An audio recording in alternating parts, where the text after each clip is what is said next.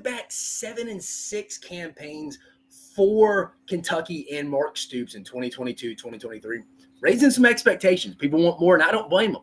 Uh, but what is going to be a successful season in 24 for the Kentucky Wildcats and Mark Stoops? I am your host, Dave Shumate, coming at you here from the SEC Unfiltered platform. Let's be honest, Mark Stoops brought these expectations on himself. I'm not blaming Mark Stoops, but I think seven and six without some big marquee wins outside the Louisville uh, rivalry, which is fantastic. You keep winning that game, that's awesome. But I think people want some more. Some people want some wins against Tennessee. They had some opportunities last year. Let's beat Clemson in the Gator Bowl when, when we got them on the ropes. I think people are kind of kind of missing that. Um, we have some new key pieces coming into this program. Can they get over that hump? And I'm here to tell you what will be a successful season in Kentucky for 2024. Now, first, let me preface this by saying I think for teams kind of like Kentucky, Auburn, Arkansas, Florida, that are obviously, I think, going to really compete for the SEC title this year. And I'm talking about anywhere from 10 to 12 regular season wins. When I'm talking about these teams that I'm thinking a successful season will be six to eight wins, there's got to be a little bit more context to this as well. So I'm going to give you three pieces if I'm a Kentucky fan I would like to see outside of just your regular, hey, I'm going to give you six, seven, eight wins. That's success. First, quarterback play. Kentucky fans may be screaming at the top of their lungs when they hear me say this. Quarterback play. Let's let's let it be a consistent position for the first time in a few years. You got Brock Vandagriff, the transfer coming in from Georgia, who's going to be a threat in the run game. Can make all three level, uh, make all the throws to all three levels. Was a five star signee for Georgia. Uh, I think on the only two five star signees they've signed while Kirby Smart's been in Georgia, him and Justin Fields, but also bringing Bush Hamdan, new OC from Boise State. Uh, he had Taylor, Taylen Green at Boise State, utilized him in the run game with his legs. I think Brock Vandagriff will be similar. This is the first time Kentucky's had a quarterback that I think his legs will be a massive strength. I don't know, Will Levis and even Devin Leary at times on like third and seven, if the pocket, you know, they could pick it up and go get it. I'm not including that. I'm saying this design plays to help Brock Vandagriff utilize his legs. Also, they have weapons on the outside. Dane Key, and Brown. I think they're going to be there's going to be some opportunities there for Kentucky to kind of maybe look a little different on offense than what Kentucky fans are looking for a little bit. Also, I like I like the running back room. It's not Ray Davis, but you got two guys. Excuse me, for mispronouncing the name most likely here, but the NC State transfer Demie Sumo-Karngbaye. Then I think the Ohio State uh, transfer back up at relieve TreVeyon Henderson at times. The DeaMonte Trayanum. Uh, I think he's I, I, think they're serviceable back there for sure. I think they're serviceable back there for sure. Uh, but a quarterback play, it needs to be consistent. That's what I'll be looking forward to. So I'm fired to see what Bush Hamdan and Brock Vandagriff, those two combinations can do together. Then second, let's get the big blue wall back going. Let's, let's get the big blue wall back to expectations. They're bringing a new offensive line coach coming over from Alabama. Has been at Kentucky before, Eric Wolford.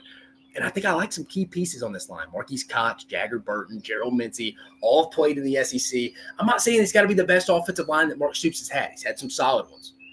But let, us get it back a little bit. Let's stop getting the pre-snap penalties. Let's stop getting uh, in second and longs where they're drive killers and you're putting your quarterback in bad spots. I think if the big blue wall can get going, that'll go hand in hand with the consistent quarterback play. So we got those two. Then finally, going to the other side of the football, I really like this front seven for Kentucky. I think they only lose one starter in their front seven. They Six out of the seven starters back. Deone Walker, that leading off with him, who probably you'll hear his name early. We're in NFL draft season.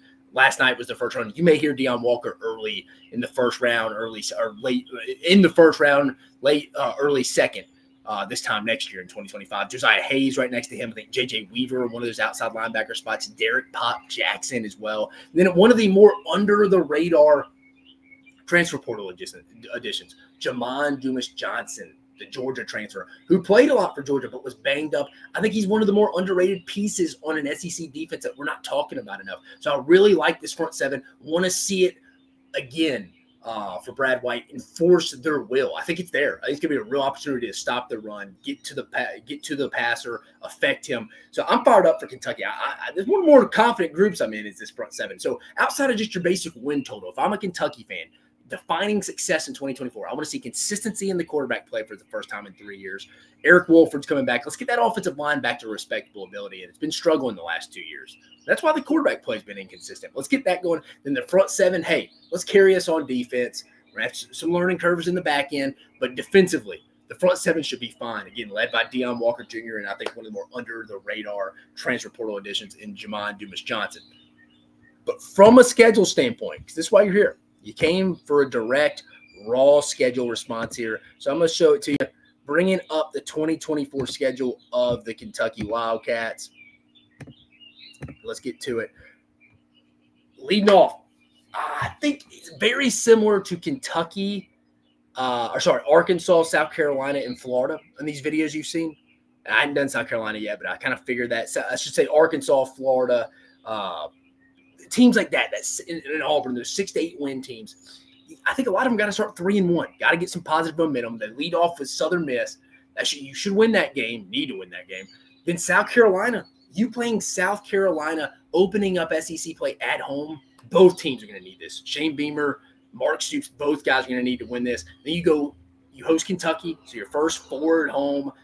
You get Ohio before you head to Ole Miss and Vaught-Hemingway, a place you went two years ago that you probably should have won. So three and one before you're heading to Vaught-Hemingway to play Ole Miss. You need to be three and one. Probably Southern Miss, South Carolina, and Ohio. I mean, if you want to throw Georgia there somehow, they lose South Carolina, beat Georgia, sure.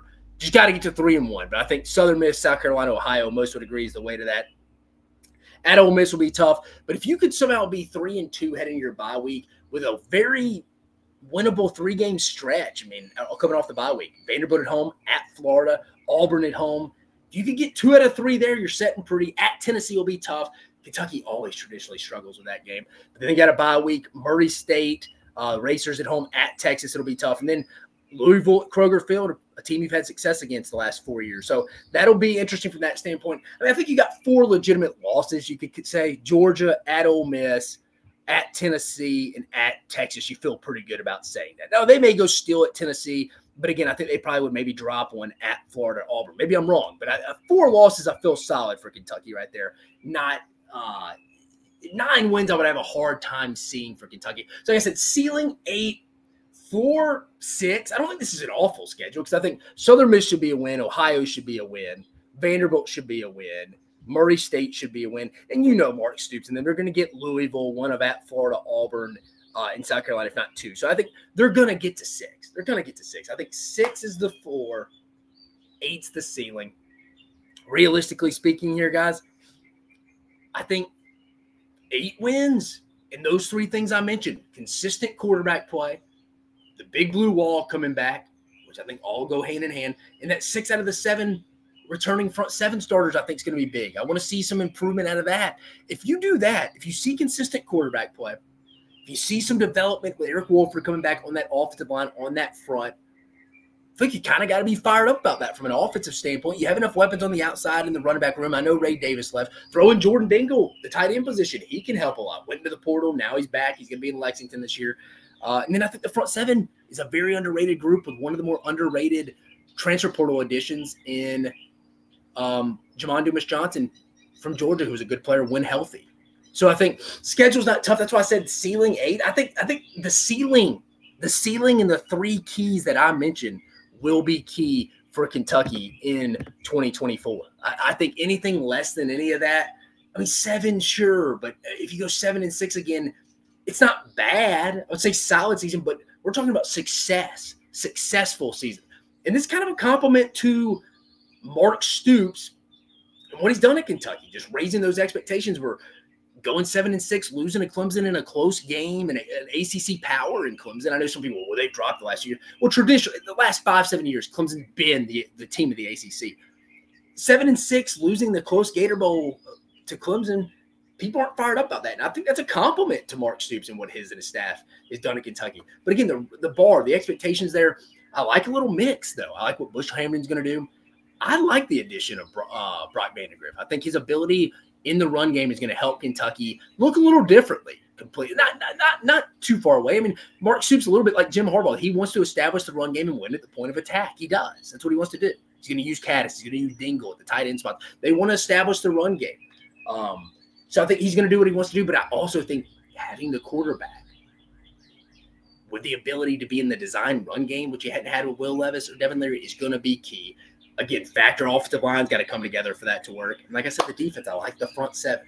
But so for Kentucky, for me, successful season, eight wins, bring those three things all together.